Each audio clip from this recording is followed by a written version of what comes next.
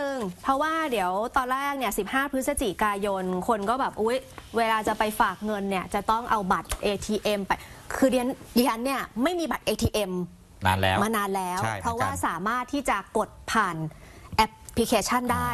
ทีนี้ถ้าหากว่าต้องการจะฝากเงินผ่านตู้เนี่ยอ้าวอย่างนี้ก็ต้องไปทำบัตรหรือเปล่า คือเมื่อก่อนมันจะมีค่ะตู้ที่เรา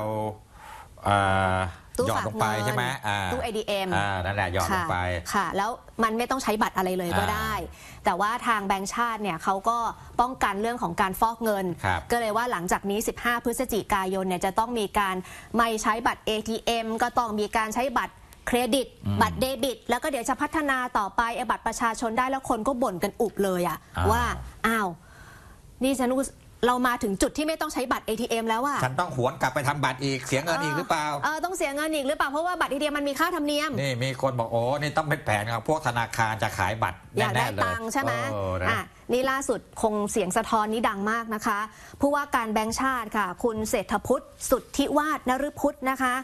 บอกว่าตอนแรกที่มีการออกข้อบังคับที่จะต้องบังคับเรื่องการฝากเงินที่ต้องมีบัตรยืนยันตัวตนเนี่ยจะเริ่มบังคับใช้ 15 พฤศจิกายน ล่าสุด เลื่อนไปแล้วค่ะครับนะคะ เพราะว่ามันก็จะมีเสียงสะท้อนอะไรต่างๆ นานามากมายทีเดียวนะคะ เพราะฉะนั้นเดี๋ยวจะขอหาวิธีการในการที่จะไม่กระทบกับพี่น้องประชาชนก่อนก็แล้วกันนะคะ เพราะฉะนั้น 15 พฤศจิกายนนี้ก็เหมือนเดิม จะฝากเงินก็สามารถฝากได้ไปจนกว่าเขาจะมีการประกาศ